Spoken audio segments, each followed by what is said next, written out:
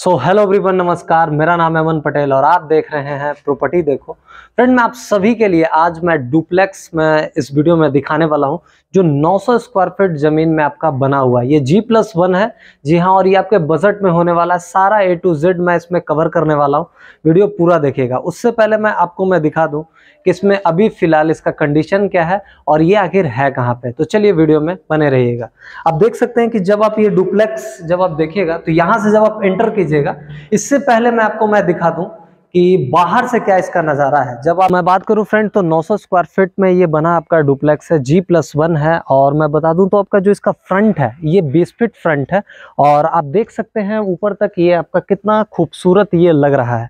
ठीक है? अब मैं आपको अंदर पूरा मैं दिखाना चाहूँगा। जब आप अंदर इंटर करेंगे तो आपको ये गेट मिला मतलब लगा, मिलेगा। क्योंकि अभी ये जो है, अभी अंडर कंस्ट्रक्शन है और अंदर का सारा जो डुप्लेक्स आप देखिएगा, सारा रेडी बनकर पड़ा है। बस बाहर कुछ काम बाकी है। आप देख सकते हैं, जब इंटर अंदर कीजिएगा तो इधर ही आपका पार्किंग एरिया हो गया। इधर भी स्पेस अच्छा है, काफ़ी अच्छा स्पेस है। छोटा गाड़ी लगा सकते हैं। और अभी आप प्रेजेंट में भी यहाँ देख सकते हैं कि एक स्कूटी लगा हुआ है तो इसमें भी काफ़ी स्पेस है। अब बात करें फ्रेंड तो आप इसके इधर भी आपको इतना स्पेस छूटा हुआ है मतलब खिड़की वगैरह के लिए सारा चीज़, ठीक है? अब चलते हैं आपको, मैं अंदर की ओर लेकर के चलता हूँ। तो अंदर जब आप आते हैं तो तो जब आप एंटर करते हैं तो आपको यहाँ पे ये जो है पूरा डाइनिंग एरिया मिलने वाला है। और ये जो डाइनिंग एरिया है, आपका 20 बाई 10 है मतलब काफ़ी अच्छा है स्पेशियस है। और 900 स्क्वायर फीट में आपका, जैसा कि मैंने बता दिया कि 20 फीट फ्रंट है और 45 डेप्थ होने वाला है। आप देख सकते हैं इसमें कि इसमें जब आपको एक खिड़की यहाँ पे मिलने वाला है ये आपका खिड़की हो गया जो लाइटेड हो गया, एक तरीके से समझिए ये पूरा फेस का है। तो आप समझ सकते हैं कि यहाँ से रोशनी वगैरह सारा चीज़ आ रहा है। अब ये तो आपका डाइनिंग एरिया हो गया, आप इसका वाल वगैरह देख सकते हैं। आप इसमें अपने तरीके से भी कंस्ट्रक्शन करवा सकते हैं, सबसे बड़ी बात है।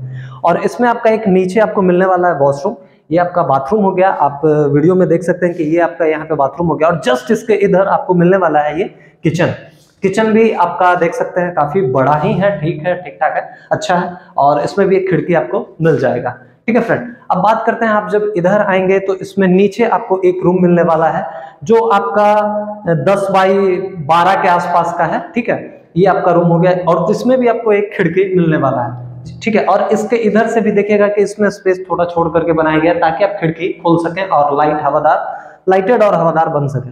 ये तो रहा नीचे की बात। अब इधर आते हैं इधर से ऊपर ये आपके यहाँ पे सीढ़ी और इसमें ये दिया गया है। आप यहाँ पे देखिए आपका ये वॉशिंग एरिया हो गया। आ, मतलब बेसिंग यहाँ पे लगा हुआ और वहाँ पे आप वहाँ पे वॉशिंग मशीन लगा सकते हैं कपड़ा वगैरह वॉश करने के लिए। ठीक है?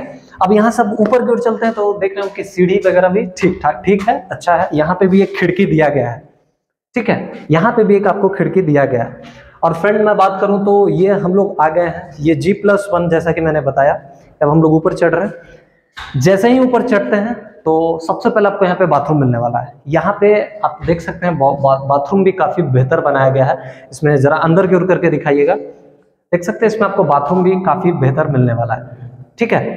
अब फ्रेंड मैं बात करूँ तो आपको देख सकते हैं कि ये रूम ये आपका ये आपका जो रूम है ये 10 बाई 17 सत्रह का है। और इसमें भी एक यहाँ पे खिड़की लगा हुआ है और एक इधर भी खिड़की लगा हुआ है। इसका यहाँ पे सारा चीज़ वॉल वगैरह देख सकते हैं। काफ़ी बेस्ट है। जैसा कि मैंने आपको ये पहले ये बाथरूम दिखा दिया यहाँ पे। अब आते हैं जस्ट इसके इधर मतलब ऊपर वाले फ्लोर में। ये आपका दूसरा रूम हो गया, ठीक है? ये भी काफ़ी बड़ा है, ये भी आपका दस बाई सत्रह के लगभग का है।